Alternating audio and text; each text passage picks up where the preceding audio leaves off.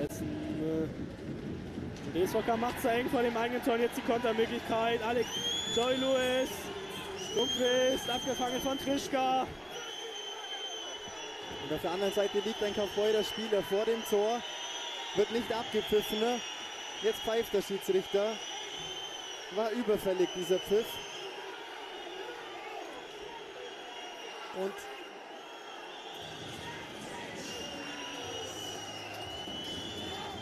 da sind wir gespannt auf die Wiederholung. Jere Laxonen liegt da vor dem Tor.